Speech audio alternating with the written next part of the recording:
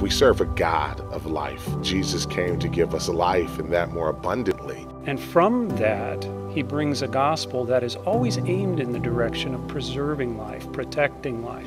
And because of that, we need to create a culture of life in which all are safe. And that starts within uh, the womb and it extends throughout all of life. Love acts, it reaches out to protect life. This is our opportunity to protect life love does protect life.